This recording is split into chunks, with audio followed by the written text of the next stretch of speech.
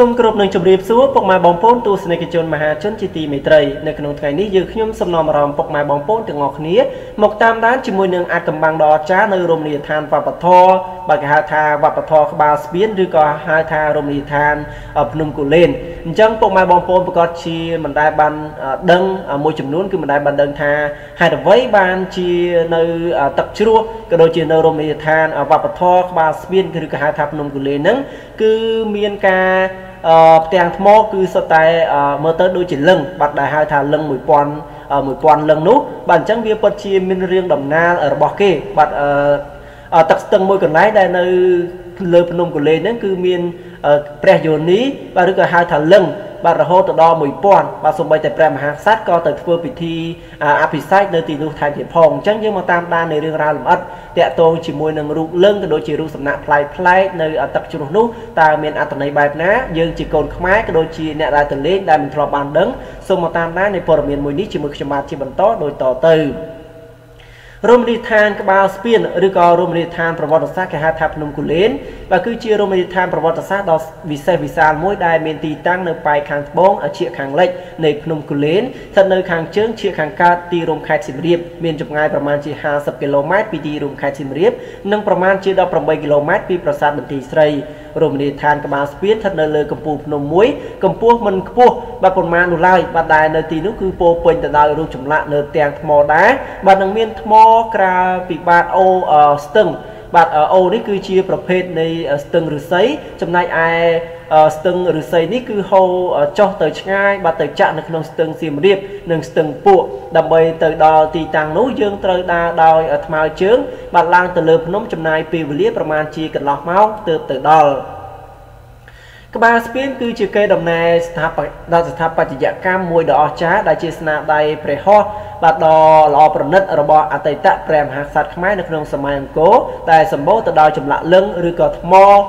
បង្កប់នៅរចនាបថបែបអបិយជំនឿសំដៅទៅលើព្រះអាទិទេពនិងសត្វផ្សេងផ្សេងបាទអ្វីដែលពិសេសនោះគឺចម្លាក់ទាំងអស់នោះត្រូវបានឆ្លាក់នៅលើ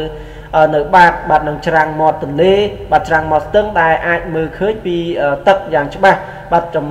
ចម្លាក់ទាំងនេះគឺលាតសន្ធឹងតាមបណ្ដោយស្ទឹកបាទបណ្ដោយស្ទឹងក្បាលស្ពានថែមទៀតផងក្បាលស្ពានគឺជាកន្លែងនេះគឺត្រូវបានគេស្គាល់ថាគឺជាជ្រលងលឹង1000ដោយសារតែនៅក្នុងចំណោមចម្លាក់ទាំងអស់បាទនោះគឺចម្លាក់លឹង1000គឺមានភាពលេចធ្លោជាងគេដោយត្រូវបានឆ្លាក់នៅបាតស្ទឹងនិងនៅជុំវិញស្ទឹងគឺមានស្ពានចម្លាក់ខាងលើនេះបាទមានភាគច្រើនត្រូវបានអះអាងផងដែរថាកសាងឡើងនៅក្នុង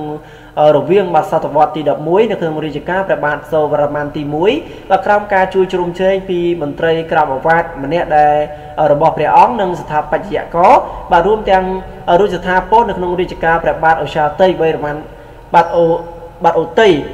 បាទឧតីវរ្ម័នទី2នៅក្នុងសតវត្សទី13ក៏ប៉ុន្តែមានការអះអាងផងដែរថានៅក្នុងតំបន់នេះគឺត្រូវបានគេគោរពបូជារួចទៅហើយពលគឺតាំងពីសម័យបូរេប្រវត្តិសាស្ត្រនិងសម័យបូរេមុនអង្គរមកម្លេះ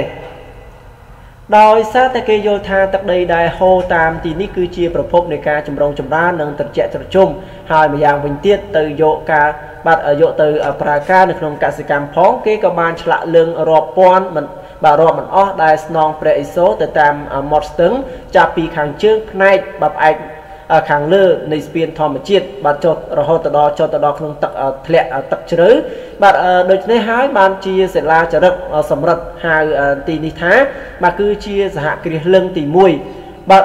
ក្រៅពីនេះក៏ឃើញមានឆ្លាក់រូបយោនីជាបលាំងភ្ជាប់ជាមួយនឹងគ្នានៅផងដែរដោយចម្លាក់ទាំងនេះគឺរាយប៉ាយនៅបាតស្ទឹងបាទប្រវែងជាប្រមាណជា200ម៉ែត្រនៅតាមច្រាំងនៅលើជញ្ជាំងខ្លះខ្លះផងដែរក្រៅពីនេះគឺមានចម្លាក់នៅច្រើនកន្លែងដែលរូបមានរូបព្រះនរាយណ៍គុំនៅកណ្ដាលមហាសមុទ្រនៃ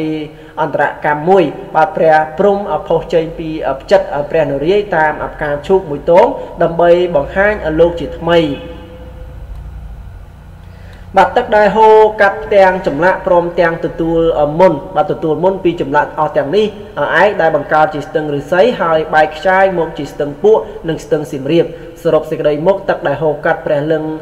ព្រះអឺបាទគេហៅថាព្រះលឹងបាទចម្លាក់បុរាណទាំងប៉ុន្មានខាងលើនេះគឺត្រូវបានខ្មែរបុរាណចាក់បាទចាត់ទុកថាគឺមានលក្ខណៈស័ក្តិសិទ្ធិបាទសម្បើមអស្ចារ្យណាស់ ព្រោះត្រូវបានប្រសិទ្ធពរជ័យប្រោះព្រំដោយព្រះរូបទាំងនោះបាទពលគឺបានខ្លាចទៅជាទឹកមុនដ៏ពិសិដ្ឋនឹងមានន័យថាទឹកដែលធ្លាក់ពីលើដងស្ទឹងដែលមហាជនទៅងូចបាទឬក៏ទៅត្រាំផ្នែក